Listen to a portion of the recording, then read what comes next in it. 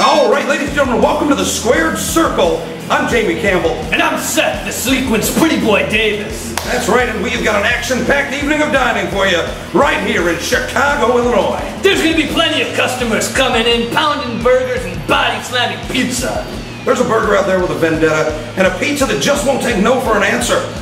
Let's get this restaurant started.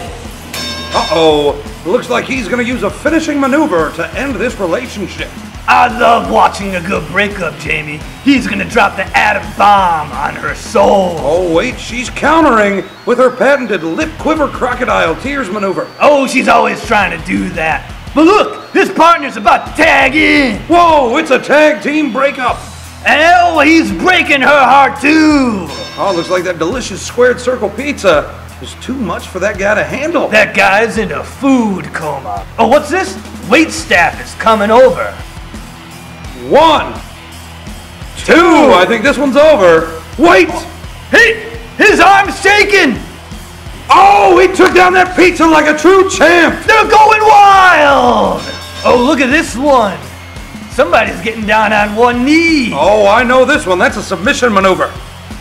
Oh, it looks like she's about to say yeah. Oh, that is one hold you can never get out of. And most battle royales, it's every man for himself. But that's not the case tonight. No, everybody's having too much fun to go over the top rope at the squared circle.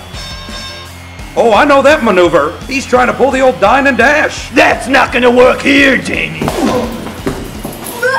Huh? Where are you going? I'm not going Are you gonna pay your bill? I'll pay you. I'm You gonna leave a good tip? Yes, You better.